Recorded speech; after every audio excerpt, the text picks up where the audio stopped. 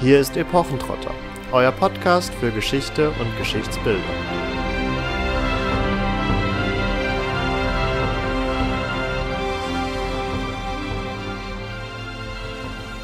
Hast du vergessen, wie's daheim erging, in meiner Väter Land bei meinem Ohm, als ich zuerst von Kolchis dich gebracht? Vergessen jenen Hohn, mit dem der Grieche herab auf die Barbaren sieht, auf dich? Nicht jedem ist wie mir bekannt dein Wesen. Nicht jedem bist du Weib und Mutter seiner Kinder. Nicht jeder war in Kolchis so wie ich. Damit hallo und herzlich willkommen zu einer weiteren Folge von Epochentrotter. Die eingehenden Zeilen oder Verse sind dem einen oder anderen womöglich bekannt von euch und ihr habt es ja auch schon am Titel dieser Folge gesehen. Wir werden uns heute mit der Sage um das goldene Vlies auseinandersetzen, in der nicht nur ein Herr Jason, sondern auch eine Zauberin Medea eine große Rolle spielen werden. Ganz allgemein gefasst wird das auch als die Argonautensage gefasst.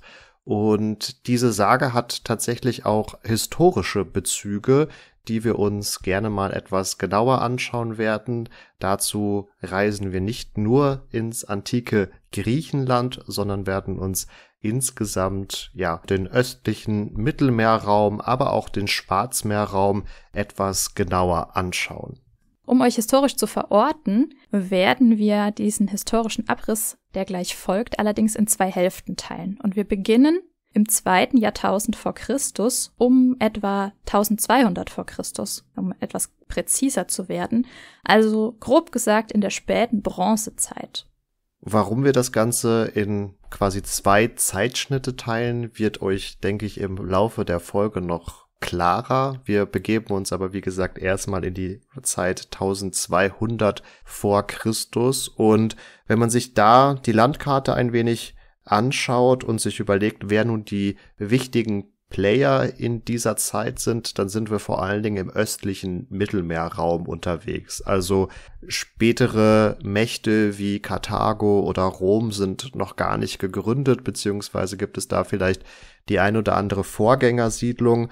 Und wir haben es viel mehr unter anderem mit dem sogenannten hethitischen Großreich zu tun, die ja auch als große Gegenspieler des ägyptischen Reiches bekannt sind. Und da haben wir auch dann quasi schon einen weiteren Player dieser Zeit. Das hethitische Großreich war ein Reich, was vor allen Dingen in Kleinasien und an der heutigen Levante aktiv war und hier auch weite Teile oder weite Landstriche kontrolliert und beherrscht hat. Wie gesagt, ein Gegenspieler war das neue Reich des alten Ägyptens. Also da hat sich über die lange Kulturphase dieses bei uns als gemeinhin alten Ägypten bekannten Konstrukt oder dieser Kultur haben sich da verschiedene Reiche gebildet und wir sind in der Phase des neuen Reiches, konkret in der 19. Dynastie und ein Sethos der Zweite herrscht. Wenn ich euch jetzt einen anderen Namen nenne, nämlich Ramses II., dann hilft euch das vermutlich weitaus mehr, euch hier zu verorten. Das wiederum war der Pharao, der der Vorvorgänger von Sethos war. Also wir sind nicht mehr direkt in der Zeit von Ramses, aber noch relativ nahe dran, vor allen Dingen, wenn man sich immer vor Augen führt, mit was für großen Zeiträumen wir es hier auch häufig zu tun haben. Bei den Griechen haben wir es auch noch nicht mit Sparta oder Athen zu tun, sondern hier ist vor allen Dingen die mykenische Palastkultur vorherrschend, also Mykene als ein Ort auf der Peloponnes, was sehr einflussreich in der Zeit war, aber auch andere Paläste beziehungsweise Palastreiche, die hier in kleineren Strukturen aktiv waren und da vor allen Dingen eben diesen griechischen Ägäisraum kontrolliert haben. Etwas weiter östlich haben wir dann im sogenannten Zweistromland noch die Assyrer. Das war eine aufsteigende Macht in dieser Zeit und wir befinden uns hier so ungefähr eine Generation vor einem anderen bekannten Ereignis, was mythologisch gefasst wird und auch gleich noch für uns relevant wird mit dem Trojanischen Krieg, also die Argonautensage wird von den griechischen Autoren immer in die Vorgängergeneration vor dem Trojanischen Krieg datiert oder platziert. Wir haben aber auch historisch ein anderes Ereignis, was möglicherweise auch mit diesem Trojanischen Krieg, der ja eher auch mythischer Natur ist, zusammenhängt. Das sind nämlich die sogenannten Seevölker. Da ist wiederum von einem Pharao Ramses III. bekannt, dass er diese Seevölker wohl zurückgeschlagen hat und wir haben in dieser Phase dann nach 1200 vor Christus, also das wird immer so auf die 1180er, 1170er Jahre vor Christus datiert, einen großen Umschwung im östlichen Mittelmeerraum, dem auch viele dieser gerade genannten Reiche mehr oder weniger zum Opfer fallen. Und eigentlich ist nur das ägyptische Reich die einzige Macht, die da, ich will nicht sagen unbeschadet rausgeht, aber die zumindestens ihre Form nach außen hin zumindestens wahren kann. Also wir befinden uns hier mehr oder weniger am Vorabend eines großen bronzezeitlichen Umbruches, der aber ihr hört es schon so ein bisschen raus, auf jeden Fall nochmal Stoff für auf jeden Fall eine eigene Episode bilden würde, das quasi nur als Teaser, dass wir uns so ein bisschen verorten können. Also wir sind jetzt hier so zwischen Ramses Zweiten und seiner großen Blütephase und diesem Umbruch, der gemeinhin mit den Seevölkern in Verbindung gebracht wird. Jetzt habe ich auch schon das ein oder andere zur Sage selbst gesagt. Vielen von euch ist vielleicht auch die Argonautensage und die Erzählung um das goldene Vlies bekannt. Wir wollen nichtsdestotrotz auch da nochmal äh, tiefer einsteigen, damit ihr auch gleich die historischen Bezüge, die wir ein wenig aufmachen wollen, nachvollziehen könnt. Und da wird uns jetzt Katharina durchführen. Genau, und ich fange natürlich erstmal an mit einem groben Überblick und arbeite mich vor zu kleinteiligeren Erzählblöcken. Und ich möchte euch als erstes sagen, dass wir es mit einer sehr alten Sage zu tun haben, die in ihrer schriftlichen Form immer wieder andere Gestalt angenommen hat, aber vorher schon zirkuliert ist, also vielleicht sogar noch älter ist als das zweite Jahrtausend vor Christus, was wir euch jetzt ein bisschen vorgestellt haben. Es geht in dieser Argonautensage um die Suche der sogenannten Argonauten nach dem goldenen Vlies. Und eingebettet in diese Suche ist eine Liebesgeschichte, die braucht es natürlich immer, damit es erzählenswert ist. Und zwar eine Liebesgeschichte um den griechischen Helden Jason und die kolchische Königstochter Medea, und ihr habt es im Eingangszitat schon gehört, auch wenn das ein Zitat ist aus einer Bearbeitung aus dem 19. Jahrhundert von Franz Grillparzer, ein Theaterstück, dass Medea nicht unbedingt den besten Stand vor den Griechen hatte, auch wenn Jason sie in diesem Zitat ja durchaus verteidigt, weil sie seine Frau und die Mutter seiner Kinder ist. Andere haben sie aber als Barbaren bezeichnet. Also das nur mal so als Stichwort, behaltet das einfach mal im Hinterkopf. Falls ihr euch fragen solltet, was denn eigentlich Argonauten sind, gute Frage. Das ist die Mannschaft auf dem Schiff namens Argo. Dazu werde ich aber gleich noch genaueres sagen. Die sind damals von Iolkos nach Kolchis gefahren. Und zu dieser Mannschaft gehören sehr namhafte Vertreter, die ihr vielleicht nicht direkt aus dem Trojanischen Krieg kennt, die aber die Väter von ganz berühmten Figuren sind, zum Beispiel von Achilles. Damit haben wir jetzt schon mal die Grundlagen gelegt und ich fange mal an und erzähle euch vom goldenen Vlies, denn darum geht es vordergründig in dieser Argonautensage und man könnte diesen Abschnitt auch die böse Stiefmutter betiteln. Das nimmt vielleicht so ein bisschen schon vorweg, worum es gleich geht. Und das ist auch ein Motiv, was viele vielleicht aus den Grimmschen Märchen kennen. Ein Motiv, was eigentlich eher so im Biedermeier aufkommt. Aber ihr seht, das ist auch schon in der griechischen Antike so ein Ding. Wir reisen jetzt nach Böotien zu König Athamas. Dieser König hat beschlossen, er braucht mal eine neue Frau weil seine alte namens Nephele, auch wenn sie göttlicher Abstammung ist, ihm scheinbar nicht mehr gereicht hat und er sucht sich die sterbliche Ino aus, die Tochter des Kadmos. Sie soll nun mit ihm das Bett teilen und er heiratet sie. Allerdings wird Ino jetzt eben zur besagten bösen Stiefmutter, denn sie hasst ihre Stiefkinder Helle und Phrixos abgrundtief, weil sie gerne selbst einen eigenen Sohn gebären möchte, der dann Thronfolger wird. Ino ist jetzt ziemlich listenreich und fasst folgenden Plan, den sie auch in die Tat umsetzt. Sie zerstört die Ernte im ganzen Land von Böotien und wiegelt außerdem die Bauern auch noch auf mit einem gefälschten Orakelspruch. Und Orakelsprüche sind zu der Zeit natürlich so das Ding überhaupt. Also was das Orakel sagt, das versteht man zwar nicht, aber es hat immer recht. Und dieser Orakelspruch besagt, dass um die Ernte wieder zu sichern, Phrixos, der Sohn äh, des Königs, getötet werden muss, um das quasi zu sühnen, um die Götter wieder zu besänftigen. Nephele, die Mutter von Phrixos, hört davon und bittet die Götter um Hilfe. Und als von Göttern abstammende Person hat sie da natürlich einen guten Draht. Und so wird sie auch erhört und von niemandem geringeren als Hermes, dem Götterboten, der sogleich einen Widder lossendet. Und zwar nicht irgendeinen, sondern Chrysomelis, der zum goldenen Widder wird. Das sagt schon der Name, denn der ist sprechend. Chrysos ist das griechische Wort für Gold und Malos das Wort für Wollbüschel, also das goldene Wollbüschel.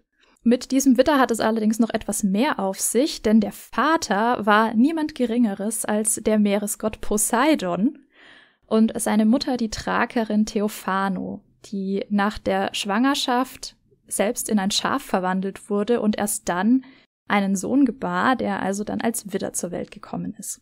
Solche Verwandlungsgeschichten sind in der griechischen Sagenwelt ja nicht ganz singulär. Wir haben auch eine Frau, die in einen Kalb verwandelt wird äh, oder in einen Schwan und ähnliches. Also da haben sich die Götter einiges einfallen lassen. Wobei in den Fällen ist es, glaube ich, immer Zeus, der sich in das jeweilige Tier verwandelt, oder? Ja, das gibt es auch. Hm. Also, soweit ich informiert bin, wird Leder in einen Schwan verwandelt, aber ähm, ich, bei der Kuh bin ich mir tatsächlich, jetzt wo du sagst, gar nicht mehr ganz sicher. Ob, also ich glaube, Zeus hat auch mal die Gestalt eines Stiers angenommen. Ja, unbedingt, um Europa zu entführen. Genau, um Europa zu entführen, aber ich glaube, in der Geschichte mit Io ist es umgekehrt. Aber schreibt uns gerne in die Kommentare, vielleicht ist euch die Geschichte bekannt, dann lasst es uns gerne wissen. Zurück zu den Argonauten und dem goldenen Vlies. Nephele hat jetzt also einen goldenen Widder zur Hand und sie schickt ihre Kinder auf seinem Rücken weg gen Osten, um zu fliehen. Allerdings gehen der kleinen Helle über der Meerenge zwischen Europa und Asien die Kräfte aus und so fällt sie vom Rücken des Widder ins Wasser. Und dieses Wasser ist noch heute nach ihr benannt, es heißt nämlich Hellespont. Es schafft also nur der Sohn Phrixos unbeschadet nach Kolchis, wo er auch sehr freundlich aufgenommen wird. Aus Dankbarkeit gegenüber den Göttern opfert er dann den Witter im Zeus-Tempel nicht aus eigenem Antrieb.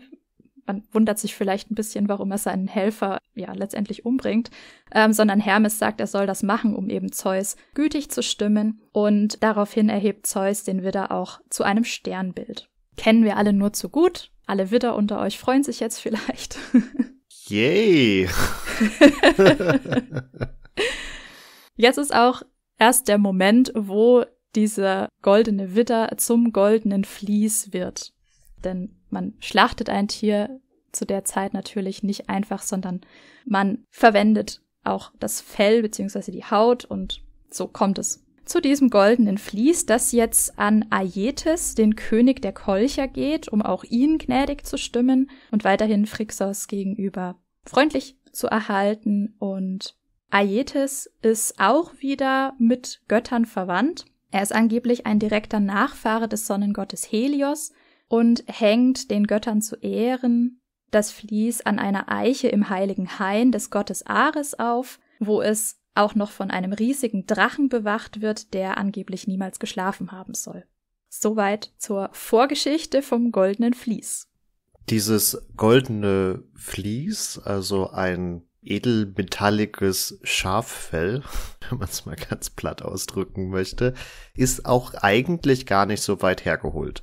Voranstellen sollte man vermutlich erst noch, dass wir jetzt schon mehrfach dieses Kolches erwähnt haben. Also es tauchte auf in dem Eingangszitat und du hast es jetzt auch schon ein paar Mal erwähnt, Wenn man sich jetzt vorstellt, dass dieser goldene Widder von Griechenland über den Hellespont geflogen ist, also der Meerenge, die letztlich auch vor Istanbul liegt, also dem heutigen Istanbul, dann kann man sich schon vorstellen, dass dieser Widder offensichtlich ostwärts geflogen ist und entweder über Kleinasien weitergeflogen ist oder über das Schwarze Meer. Das ist jetzt an der Stelle nicht so relevant.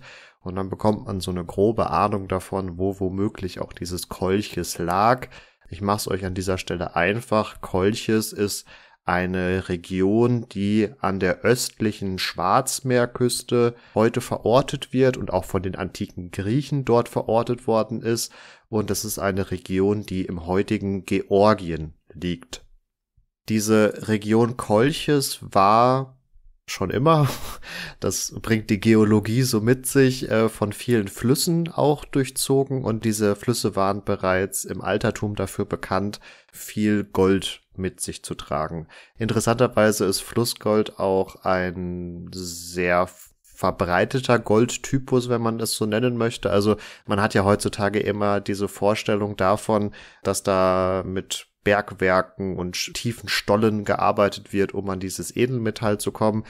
Eigentlich über die Mehrheit der Menschheitsgeschichte hinweg wurde das meiste Gold aus Flüssen und dieses manuelle Goldwaschen gewonnen. Und so war es auch in dieser Region Kolchis, wie gesagt, im heutigen Georgien mit der Besonderheit, die zumindestens hier mit dieser Region in Verbindung gebracht wird, dass unter anderem auch die antiken Autoren davon berichten, die Einwohner von Kolchis hätten ihre fettigen Schafsfelle ins Wasser gelegt, weil sich in den Haaren dann der Goldstaub verfangen hätte, der durch die Flussströmung da hinein geströmt worden ist oder hineingespült worden ist. Und im Anschluss brauchte man dann, wenn eine gewisse Zeit vergangen war, diese Schafsfälle oder diese Widderfälle nur aus dem Fluss wieder herausholen und sie eben ausbürsten oder ich glaube, teilweise hat man sie sogar auch dann verbrannt, weil offensichtlich dann am Ende nur dieses Edelmetall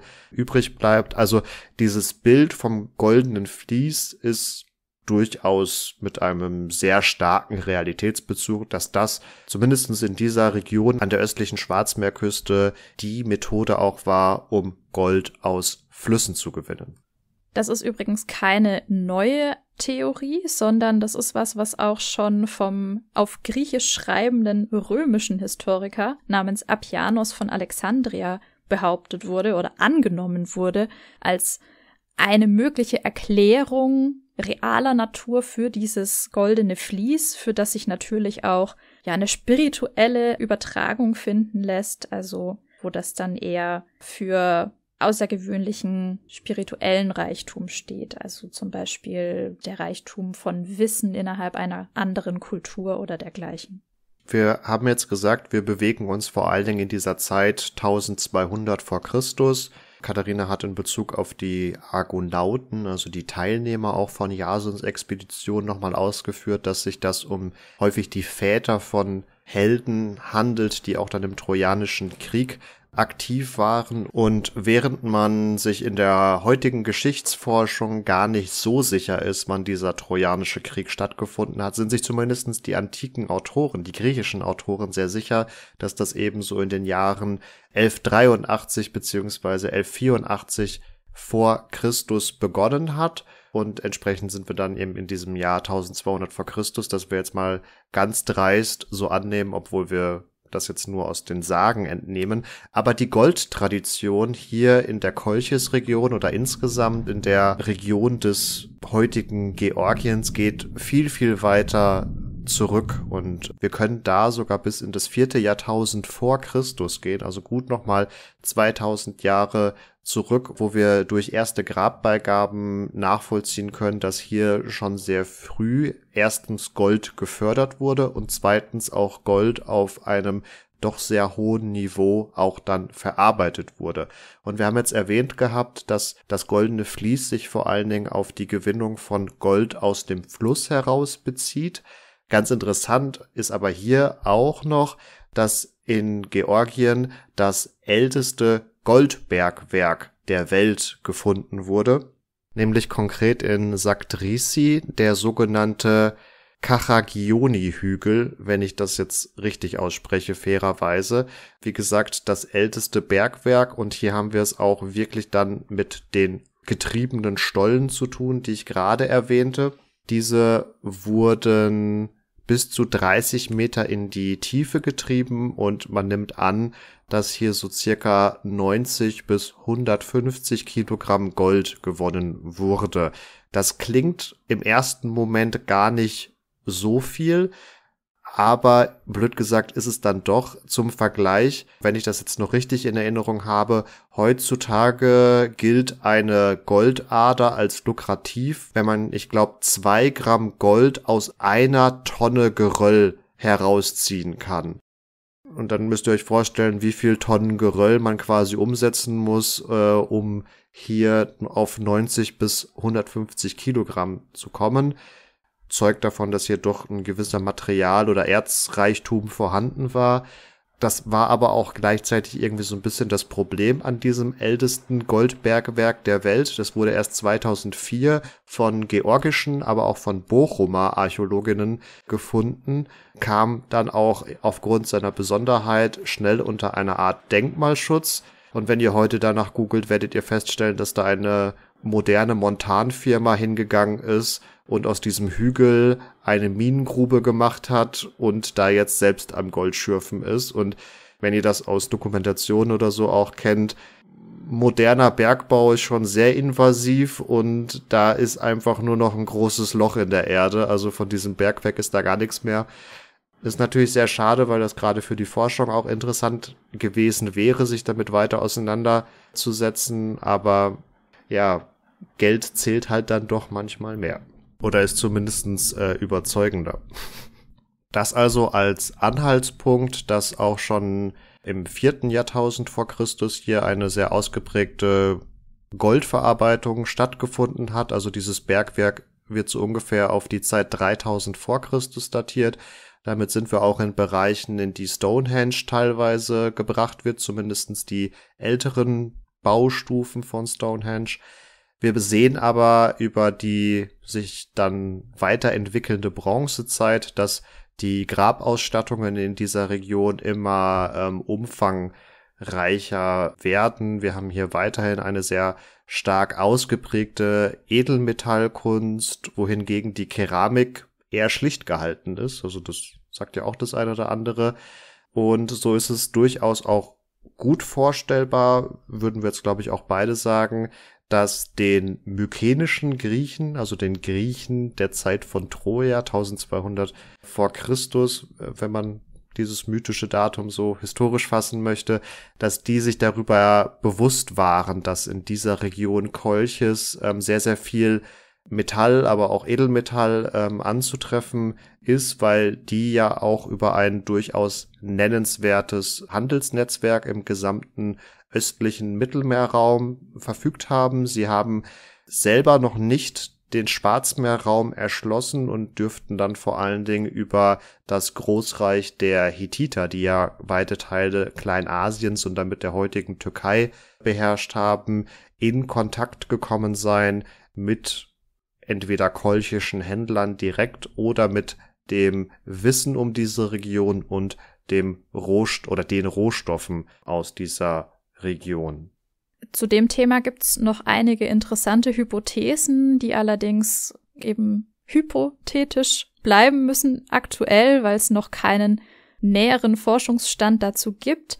Dazu gehört zum einen, dass wahrscheinlich zwischen den Kaukasiern und Europa Handelsbeziehungen bestanden haben, man aber sogar annimmt, dass sie in einen Welthandel involviert gewesen sein könnten. Darüber hinaus wäre es denkbar, dass das Gold aus der kaukasischen Region sogar bis nach Troja gelangt ist und das trojanische Gold also aus dieser Ecke der Welt stammen könnte.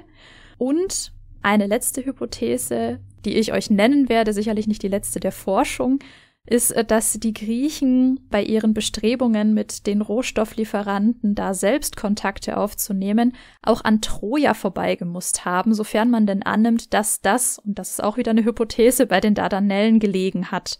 ähm, dass sie da also vorbei mussten und so dann mit den Trojanern auch letztendlich in diesen Konflikt geraten sind. Das sind viele Annahmen, sicherlich sehr spannende Annahmen, von denen wir hoffen, dass sie in Zukunft durch archäologische Funde und Befunde weiter unterfüttert werden können. Vielleicht müssen sie auch komplett verworfen werden, wie das in der Wissenschaft ja oft so ist. Das ist das Geschäft, aber macht sie natürlich nicht uninteressant.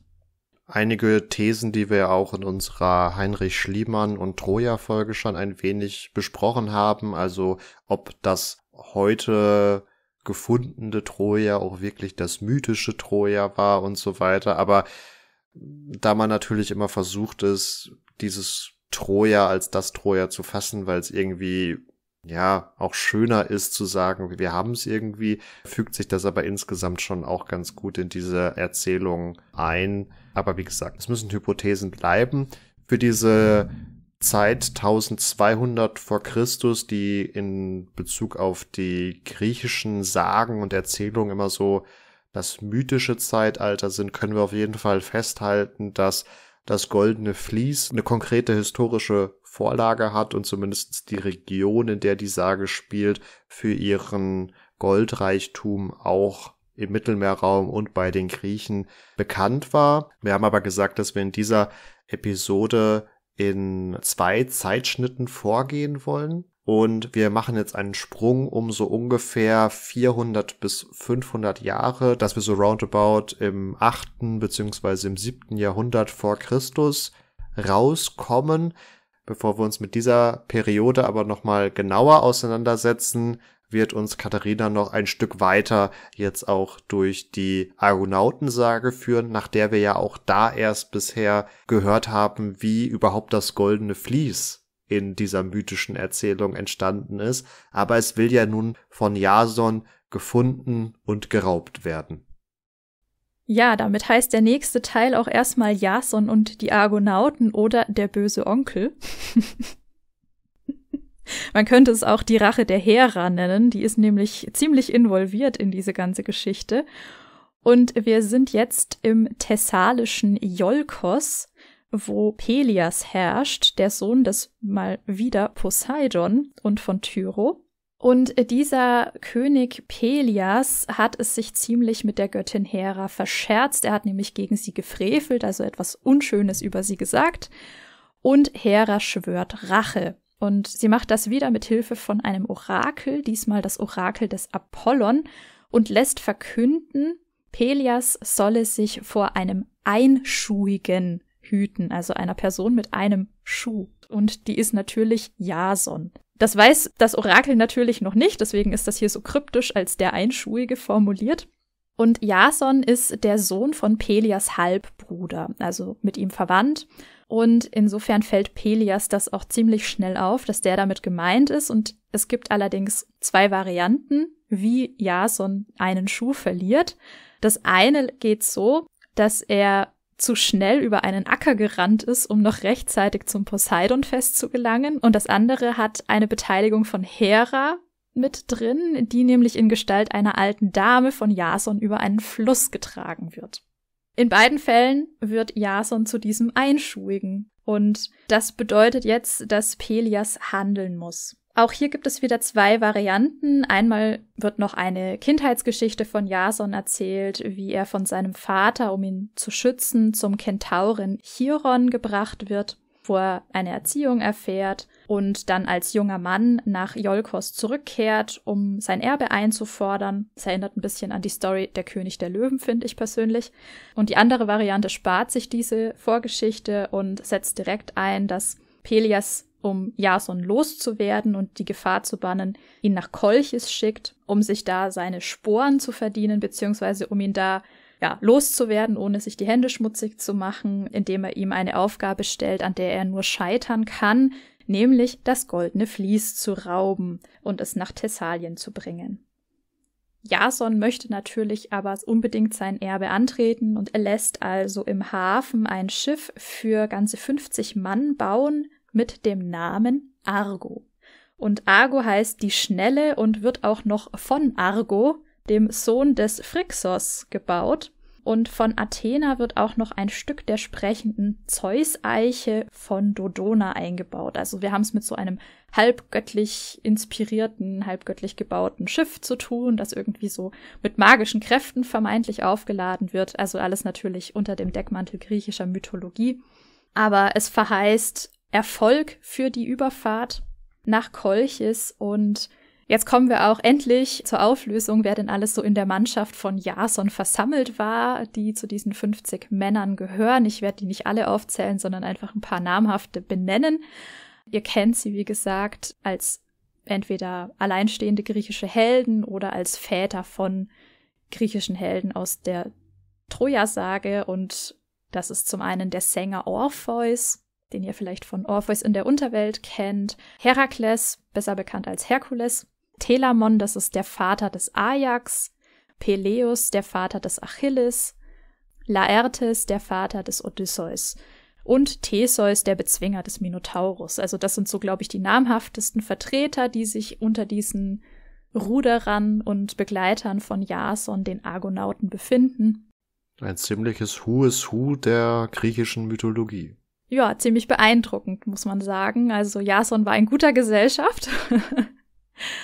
Vielleicht deutet dass Laertes, der Vater von Odysseus, äh, auf diesem Schiff war, schon drauf hin. Also die Überfahrt gelingt am Ende zwar, aber nicht ohne längere Irrfahrten und Abenteuergeschichten, die auch dazu führen, dass sich die Mannschaft etwas dezimiert. Also Herakles bleibt auf der Strecke nicht, äh, weil ihm etwas Schlimmes passiert, sondern weil er äh, seinem Geliebten nacheilt und da also eigene Abenteuer dann zu erledigen hat. Und ja, auf jeden Fall kommt man am Ende auf erstmal friedliche Art in der Hauptstadt Aja in Kolchis an und wird da auch erstmal gastfreundlich empfangen.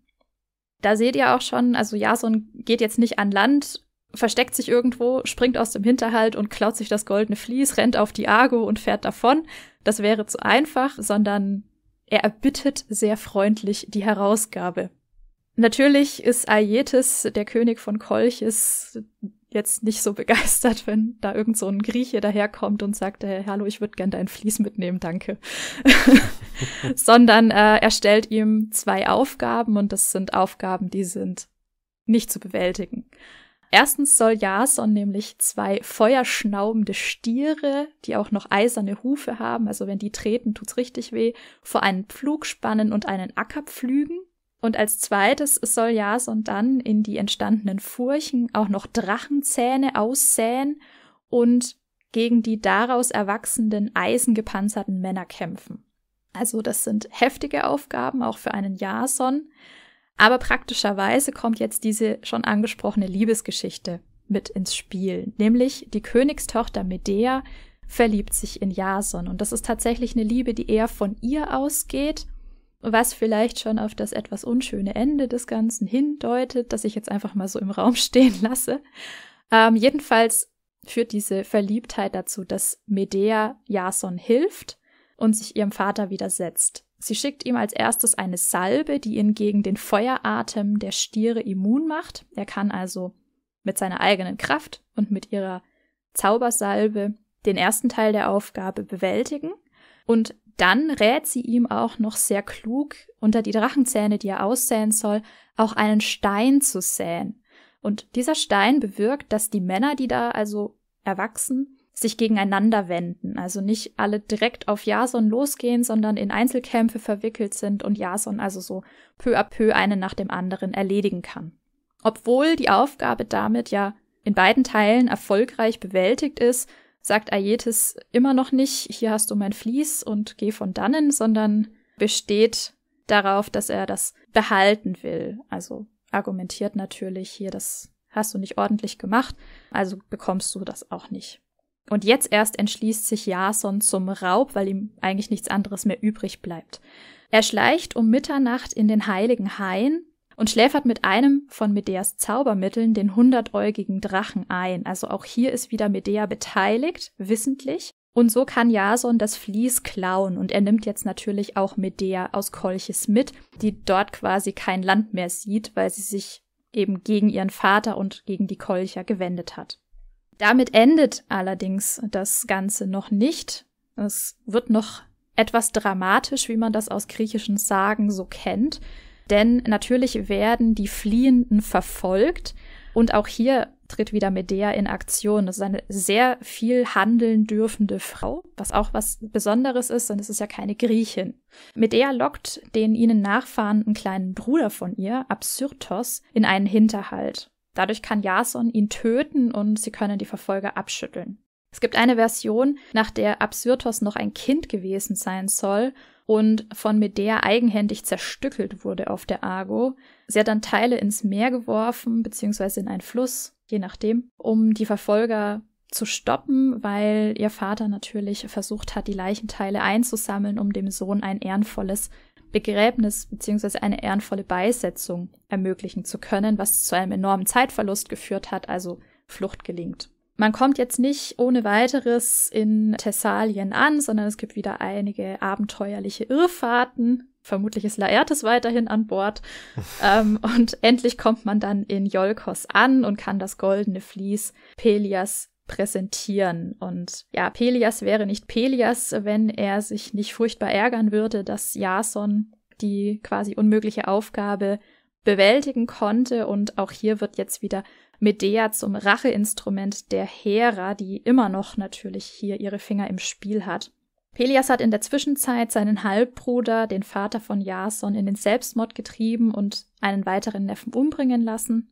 Das erfährt Jason, übergibt trotz allem das Vlies wie abgemacht, hält sich also selbst an den Deal, während Pelias versucht sich herauszuwinden. Jason hat aber natürlich jetzt seine Geheimwaffe Medea zur Hand und ihre Zauberkräfte. Die nutzt sie, um Pelias Töchter in einen ziemlich fiesen Plan zu verwickeln. Sie überzeugt die beiden nämlich, sie könnte ihrem Vater seine Jugend zurückgeben. Und sie macht das, indem sie ein Schaf zu Demonstrationszwecken zerstückelt und in einem speziellen Sud kocht, bis schließlich ein Lamm daraus hervorspringt. Und das Ganze, sagt sie, das funktioniert also auch mit Pelias. Und die Töchter schlachten ihren eigenen Vater, das ist ziemlich grausam. Und natürlich funktioniert das Ganze nicht, weil Medea ihre Zauberkräfte an der Stelle verweigert. Jetzt hat Pelias allerdings nicht nur Töchter, sondern auch noch einen Sohn Akastos, der wiederum seinerseits Rache schwört und Jason mithilfe der aufgebrachten Jolka vertreibt und mit ihm natürlich auch Medea, die jetzt nach Korinth fliehen, die eigentliche Heimat von Jason. Und hier endet eigentlich jetzt die Argonautensage, aber es gibt Versionen, die hier natürlich anknüpfen und weitererzählen, nicht erst in unserer Zeit, sondern auch schon damals hat man weitererzählt, wie das oft so ist. Und es geht jetzt für Medea ziemlich schlecht aus, weil in Korinth wartet die Königstochter sehnsüchtig auf Jason. Er heiratet sie, weil er die Griechin der Barbarin am Ende dann doch vorzieht, obwohl er mit Medea inzwischen eigene Kinder hat. Medea bricht in unbändigen Zorn aus und ermordet die eigenen Kinder, die sie mit Jason hat. Und in der griechischen Variante wird Medea jetzt für diesen Kindsmord noch nicht mal bestraft, sondern von Helios, also von ihrem Großvater, auf seinem Wagen in den Götterhimmel geführt, um sie vor der Rache der Korinther zu bewahren. In moderneren Variationen, wie zum Beispiel bei Grillparzer, geht es für Medea nicht so glimpflich aus. Nach diesem Ritt durch die Argonautensage stellt sich jetzt natürlich auch die Frage, warum machen wir diesen Zeitsprung um ungefähr 400 Jahre?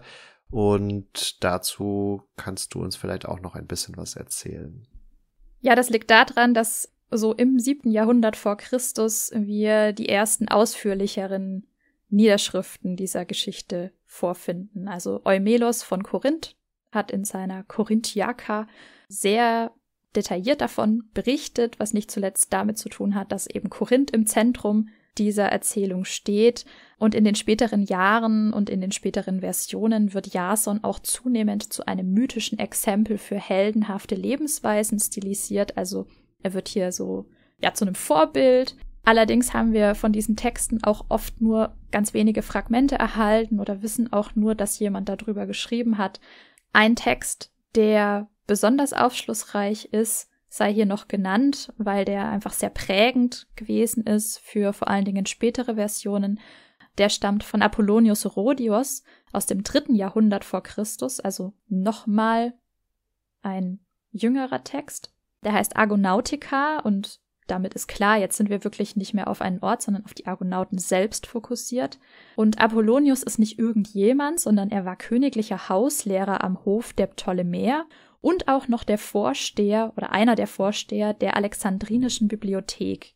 Von ihm haben sich 5835 Verse erhalten, was durchaus also ja eine stolze Zahl ist. Man kriegt einen guten Einblick und man kriegt vor allen Dingen viele Informationen über die Argonauten, über Jason und das goldene Vlies. Aber eben aufgrund dieser Quellenlage ist auch dieser Apollonias die Version, die für uns, Katharina hat es gerade angedeutet, die maßgebliche ist. Also wir haben jetzt hier eine, möchte ich sagen, idealisierte oder standardisierte Fassung auch dieser Argonautensage wiedergegeben. Und Apollonius trifft voll den Nerv seiner Zeit, auch wenn es ja eine Legende gibt, dass äh, sein Werk erstmal nicht so gut angekommen sein soll, aber das lässt sich nicht so wirklich halten. Das hat einfach ein Zeitgenosse behauptet. Er schreibt nämlich als einer der ersten Medeas barbarischer Fremdheit auch eine gewisse Grausamkeit zu. Also er benutzt Medeas kolchische Herkunft als Muster für barbarische Fremdheit, wo man eigentlich ja denken könnte, das ist vielleicht was moderneres oder so. Nein, ist es nicht. Aber diese vorangegangenen Autoren und die mit ihnen gekommenen, aber leider nicht immer vollständig überlieferten Sagenversionen führen dann auch dazu, dass wir verschiedene Ausgangspunkte zum Beispiel auch der Argonauten-Expedition haben. Also es ist nicht immer Jolkos, es ist nicht immer Korinth, sondern die Autoren haben aus einem gewissen ja, Regionalstolz dann auch gerne den Ausgangspunkt dieser Expedition in ihre jeweilige Stadt gelegt, um da eben eine mythische Verankerung zu schaffen. Und ebenso variiert auch die Besetzung der Argo. Also Katharina hat das Who is Who vorgestellt. Nicht unbedingt in jeder Version dieser Sage tauchen die alle auf, sondern die tauchen auch teilweise in unterschiedlichen Versionen auf. Auch die Reiserouten sind teilweise sehr, sehr unterschiedlich. Wobei, das lässt sich, glaube ich, für alle sagen, sie haben schon allesamt etwas Odysseeskes, wenn man das so sagen möchte. Also man ist nicht einfach in See gestochen, kurz durch den Hellespont und dann ostwärts und war da. Nein, man ist irgendwie die Donau hochgefahren, ist durch halb Europa getigert, äh, war irgendwie in Marseille unterwegs, hat noch drei Schleifen durchs Mittelmeer gedreht, war auch in Nordafrika unterwegs. Also da wurde in keinster Weise die direkte Route genommen und äh, auch in dieser standardisierten Fassung ist das übrigens so. Du hast ja den Vater von Odysseus angesprochen gehabt. Also das, das war schon irgendwie eine Art äh, Himmelfahrtskommando bis zu einem gewissen Grad und ist vermutlich ja auch als solches angedacht gewesen, nämlich als unlösbare Aufgabe, die Jason davon abhalten sollte, irgendwie diese Herrschaft oder sein Erbe anzutreten und ihm eigentlich nur den Tod bescheren sollte. Da kann man tatsächlich sogar, wenn man weiterhin die Dardanellen ins Spiel bringt, reale Gegebenheiten anführen. Da herrschen nämlich ziemlich heftige Winde und Strömungen. Und das kann man für die Zeit, in der die Argonautensage spielt oder wo die entstanden ist, nachweisen. Aber das kann man auch, wenn man das heute nochmal versuchen möchte, mit ähnlichen Mitteln wie damals anzunehmen, nachempfinden. Und das hat man gemacht in einem Experiment in den 1980ern. Da wurde von einem Griechen ein bronzezeitliches Schiff nachgebaut und die Expedition wurde von Tim Severin geleitet, der sich 20 Mitstreiter gesucht hat, um 2400 Kilometer insgesamt zurückzulegen mit einem Schiff, das ein sogenanntes Rahsegel hat, also nur ein Segel. Und er ist gestartet von der nordgriechischen Hafenstadt Volos aus, eben über die Dardanellen, über den Bosporus bis ins Schwarze Meer, um dann zur antiken Stadt Phasis zu kommen, also an die Küste des heutigen Georgiens. Und die hatten dabei ziemliche Probleme. Es gab nämlich keine einfache Passage über die Dardanellen. Sie haben mehrere Anläufe gebraucht. Allerdings haben sie es schließlich mit guten Wetterbedingungen dann doch geschafft und haben so bewiesen, dass es möglich gewesen wäre.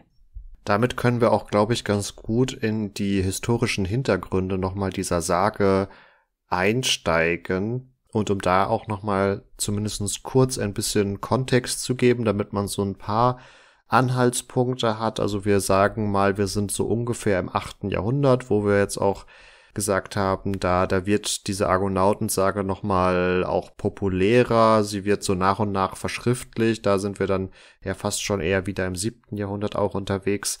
Aber wir haben zum Beispiel 776 vor Christus die angeblich ersten Olympischen Spiele, also die sind auch noch ein bisschen mythisch, werden aber immer so als Anhaltspunkt genommen. 753 Rom schlüpft aus dem Ei. Also nachdem wir vorher im westlichen Mittelmeerraum noch keine bekannten Großmächte hatten, haben wir jetzt da auch noch keine Großmacht, aber zumindestens die Anfänge einer späteren Großmacht. Und was für uns jetzt hier sehr relevant ist, ist dann 735, also etwas umgedreht die Zahlenfolge, 735 vor Christus, wo nämlich nach dem griechischen Historiker Thukydides in Naxos die erste griechische Kolonie auf Sizilien gegründet wird. Also wir sehen, die Griechen beginnen jetzt hier ihre Inseln und auch das dazugehörige Festland eben zu verlassen und in den Mittelmeerraum vorzudringen. Es ist der Anfang der sogenannten griechischen Kolonisation, der auch am Ende der sogenannten dunklen Jahrhunderte steht. Äh, die dunklen Jahrhunderte, eine Phase, die früher eben auch in Verbindung gebracht wurde mit diesem Umbruch durch die Seevölker und dann bis ungefähr 800 vor Christus ging, also so roundabout 400 Jahre. Das ist inzwischen als Zeitperiode noch mal ein bisschen weiter eingeschränkt worden und umfasst jetzt eher so die Phase 1050 bis 850 vor Christus, was vor allem auf auch neuere Untersuchungen zurückzuführen ist. Also da hat man besseres Bild gewonnen.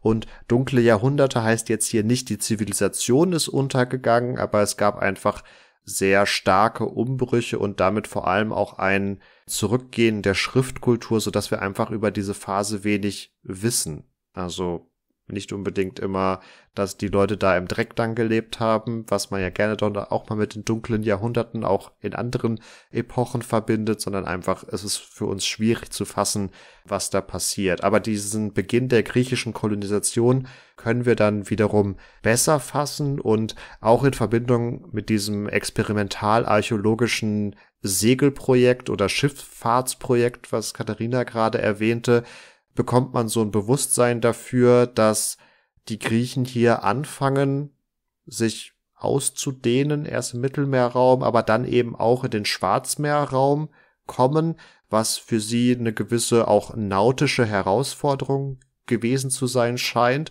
und insofern dann für sie besonders war, dass sie das mit ja Sagenerzählungen verbunden haben von vorangegangenen Helden aus glorreichen Glanzzeiten, die das auch vorher ähm, schon mal äh, geschafft haben.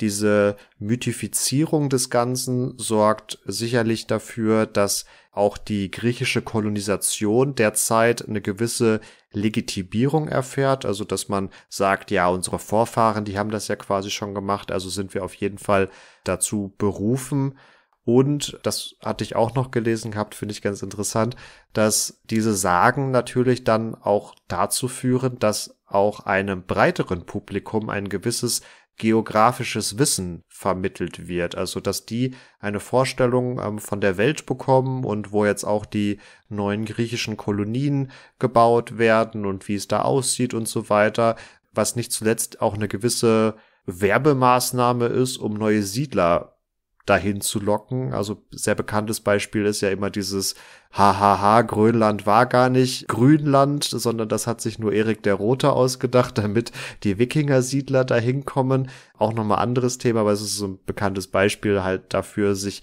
Geschichten über fremde Länder zu erzählen, um dann quasi neue Mitstreiter dafür zu gewinnen. Und für die Region Kolches, die ja am östlichen Ende des Schwarzmeeres, zumindest von Griechenland aus liegt, können wir dann spätestens ab dem siebten Jahrhundert auch wirklich sichere Kulturkontakte zwischen Griechen und den Bewohnern dieser Region ähm, ausmachen, wobei dass hier auch erstmal nur vereinzelte archäologische Funde sind und die noch nicht zu 100 Prozent aussagen, ob wirklich so ein direkter Kulturkontakt stattgefunden hat oder ob der auch wieder über Dritte stattfand. Wir hatten für unseren ersten Zeitschnitt ja auch schon festgehalten, dass das Wissen und auch der Rohstofftransfer in der Phase 1200 vor Christus dass da vielleicht mal ein Grieche auf einen Kolcher äh, oder auf einen Bewohner dieser Region gestoßen ist, aber dass das meiste ziemlich sicher eben über die Hittiter gelaufen sein dürfte. Und jetzt hier ist man sich auch noch nicht so ganz sicher, wie sich das entwickelt. Das zeugt so ein bisschen davon, dass auch zu Beginn dieser griechischen Kolonisation Kolches und dieses Goldland immer noch eine gewisse Mystik mit sich gebracht hat, dass man noch nicht so ganz wusste, was es damit auf sich hat. Und tatsächlich sind die griechischen Kolonien, die wir hier an dieser östlichen Küste des Schwarzmeers und damit auch in der Region Kolches nachweisen können, vergleichsweise erst spät gegründet worden. Also das war auf jeden Fall der Zipfel des Schwarzmeeres oder insgesamt der griechischen Kolonisation, der am spätesten besiedelt worden ist. Also das unterstreicht nochmal ein bisschen das, das Besondere. Wenn wir uns Kolchis selbst nochmal äh, ein wenig anschauen, dann ist es für uns schwierig zu fassen, wie es da ethnisch, kulturell oder auch sozial ausgesehen hat. Also für die Griechen stand vollkommen klar, das hat Katharina in Bezug auf die Sage ja auch ausgeführt, dass es da ein Königreich geben muss. Da gibt es einen König und der beherrscht quasi das ganze Gebiet, ist dem übergeordnet und so gehen die Griechen davon aus, dass hier die Nachkommen dieses sagenhaften Aietes herrschen. Aus den archäologischen und auch den historischen Quellen können wir das nicht wirklich nachweisen. Also wir können aber auch nicht so wirklich Aussagen darüber treffen, wie es stattdessen ausgesehen hat. Es bleibt einfach so, so ein bisschen im Dunkeln. Was wir mit größerer Wahrscheinlichkeit oder auch Sicherheit sagen können, ist, dass diese sehr von Flüssen geprägte Landschaft, unter anderem durch den Fluss Phasis geprägte Landschaft wohl sehr fruchtbar gewesen sein muss, weil durch diese Flüsse sehr viel äh, Flussschlamm mitgeführt wurde und sich hier so eine Art Schwemmland ergeben hat. Etwas ähnliches können wir ja auch beispielsweise in Ägypten beobachten, wo der Nil immer wieder diesen fruchtbaren Schlamm mit den Überschwemmungen mit sich bringt und will jetzt nicht heißen, dass es hier regelmäßig auch Überschwemmungen gab, aber womöglich hat er auch einfach kontinuierlich so eine gewisse Nährstoffzufuhr quasi gegeben. Diese Flüsse münden dann verständlicherweise alle ins Schwarze Meer. Der genannte Phasisfluss war auch schiffbar, was sicherlich für den Handel attraktiv war. Und diese Fruchtbarkeit des Landes, die sich aus rein geologischen Beobachtungen davon ableiten lässt, wird aber auch beispielsweise von Strabon, einem römischen Schreiber in der Zeit des ersten Jahrhunderts vor beziehungsweise des ersten Jahrhunderts nach Christus beschrieben. Also er lebt gerade zur Zeit der Zeitenwende um das Jahr Null. Und neben dem Gold war die Region dann auch hier im achten und siebten Jahrhundert wohl schon sehr aktiv im Bereich der Eisenverhüttung und der Eisenverarbeitung tätig. Wir sind jetzt hier nicht mehr in der Bronzezeit, sondern in den Anfängen der Eisenzeit. Und hier war die Region von Kolchis in einer Art Vorreiterrolle, zumindestens in diesem Gebiet. Das Erz stammte wohl auch aus der Region selbst, also ähnlich wie Gestein ausgewaschen wird und sich dann darin das Gold ablagert, wurde auch anderes Gestein in anderen Flüssen ausgewaschen und so hat sich dann da Eisenerz in bestimmten Konstellationen und Verbindungen abgelagert. Also auch in dieser frühen Eisenzeitphase ist jetzt weniger mit Stollenbergwerken zu rechnen, sondern man hat eher mit dem Erz gearbeitet, was an der Oberfläche mehr oder weniger anzutreffen war. Sei es jetzt nun in Flüssen oder in Flussablagerungen oder dem einen oder anderen ist auch vielleicht der Begriff Rasenerz ein Begriff. Das sind dann entsprechende Klumpen, die teilweise auch auf Wiesen zu finden sind. Und das sind immer so die ersten Lagerstätten, die als erstes abgebaut oder benutzt werden. Für die starke Eisenverhüttung sprechen auch viele archäologische Funde, die dann Schmelzöfen nachweisen und so ist hier wirklich von einer Produktion von überregionaler Bedeutung zu sprechen. Und diese Eisengerätschaften werden sicherlich auch dazu geführt haben, dass die Produktivität der Landwirtschaft zugenommen hat, weil man nun beständigere Werkzeuge hatten, die besser und auch dauerhafter den Boden jeweils umflügen, bearbeiten konnten, etc. Also das ein Einblick vor allem in die Archäologie, wie es in dieser Region möglicherweise ausgesehen hat. Es ist rein politisch davon auszugehen, dass die Region Kolchis sehr bald dem Perserreich untergeordnet war. Also hier vermutlich durchaus eigenständig war, wie es ja für viele Teilreiche oder Teilterritorien des Perserreiches üblich war, aber sie waren halt abgabepflichtig und in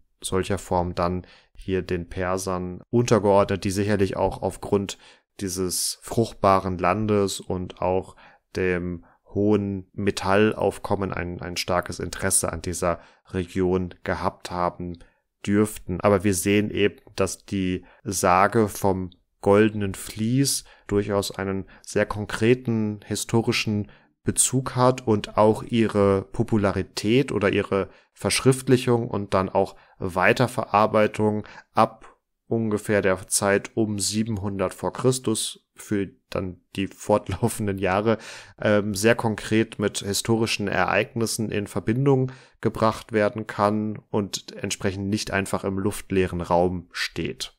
Damit haben wir den Bogen geschlagen von der Sage über die historische Einordnung und wieder zurück. Und wir hoffen natürlich sehr, dass euch das Ganze gefallen hat. Wenn dem so ist, dann lasst uns das wissen. Klickt auf den Button und lasst uns ein Like da. Schreibt uns gerne auch eine Rezension oder klickt auf die Sterne. Fünf wären schön. Und natürlich könnt ihr uns auch ausführlicheres Feedback zukommen lassen. Zum Beispiel über kontakt.epochentrotter.de per Mail oder natürlich über die Messenger-Dienste über Social Media. Da findet ihr uns auf Facebook und Instagram. Ihr findet natürlich auch eine Folgenübersicht auf epochentrotter.de oder überall da, wo es Podcasts gibt. Damit wünsche ich euch eine schöne Woche, bleibt gesund, macht's gut und ciao, ciao.